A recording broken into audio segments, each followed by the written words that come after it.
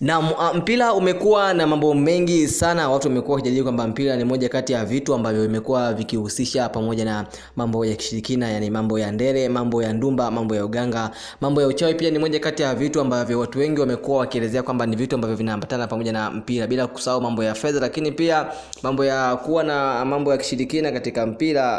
Uh, bila kufanya hivyo, watu wengi wamekuwa wakisema kwamba mpira hauwezi kufika mbali wala hauwezi kupiga hatua, na watu wengine wamekuwa wakiamini katika ubunifu uwezo na mambo ya sayansi na teknolojia. Lakini uh, siku ya leo bwana, moja kati ya video clip ambayo imekuwa ikitembea na imeenda viral kupitia mitandao mbalimbali ya kijamii Instagram pamoja na Twitter, ambako ni video moja ambayo imepostiwa na msemaji um, wa, kla, wa klabu ya, Dar es Young Africans ama mhamasishaji wa klabu ya Dar es Salaam Young Africans ambaye mpaka hivi sasa yupo kifungoni mara baada ya kufungiwa miaka mitatu uh, na shirikisho la soka Tanzania bara, nikizungumzia Tanzania Football Federation yani TFF.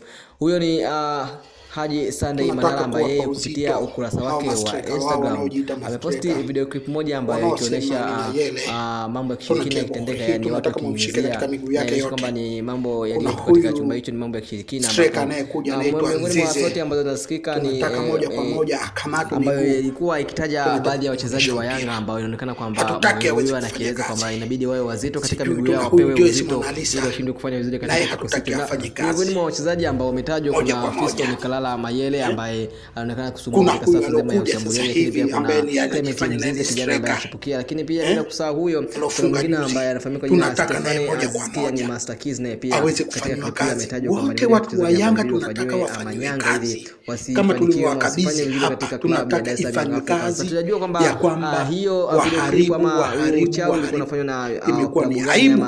mashabiki wa Tunataka tufanywe tufanyiwe kazi haraka sana. mashabiki wa Azam ama pengine mashabiki wa Yanga hao hao, lakini sijajua kwamba ni mashabiki wa klabu gani. Hiyo ni moja kati ya vitu ambavyo nimeamua nikusogezee, na hii hapo unaweza ukaisikiliza kuanzia mwanzo mpaka mwisho, alafu baadaye utakapokuja kuja tuambie, je, kwamba hii ni sahihi katika ah, soka ama ndio tunajaribu soka letu la ah, Tanzania Tunataka moja kwa moja akamata miguu. hatua moja ama lipige hatua kutoka sehemu moja kwenda sehemu nyingine. Tutakuwa Hii ni Triple Media cha msingi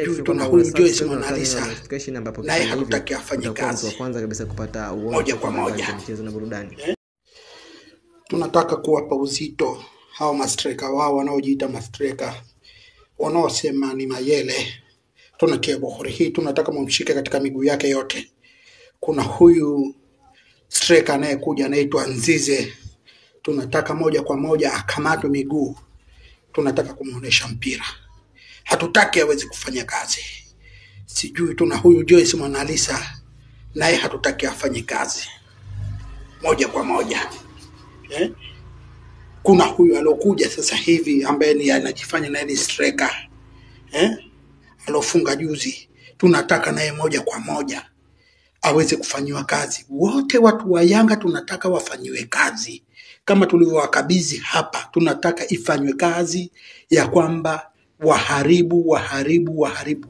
Imekuwa ni aibu, tunataka tufanyiwe kazi haraka sana.